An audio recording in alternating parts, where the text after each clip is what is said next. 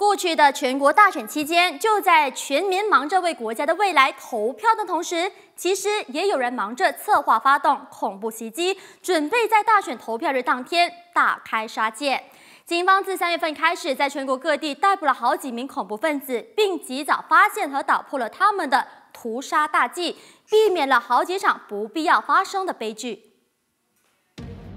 全国总警长福兹今天发文告指出，乌吉阿曼政治局反恐组在过去一个多月逮捕多达十五名的恐怖分子，他们分别是六名大马人、六名菲律宾人、一名孟加拉人以及一对来自北非的夫妇。其中一位家庭主妇试图在投票日当天到雪州普种一间学校投票站外开车冲撞选民，不过最后庆幸遭到警方识破逮捕。另外，还有一名胆大包天的十七岁中学生，打算策划发动独狼式恐袭，自制六个汽油弹，打算在吉隆坡一带的教堂、娱乐中心和新都庙引爆，不过最后失败告终。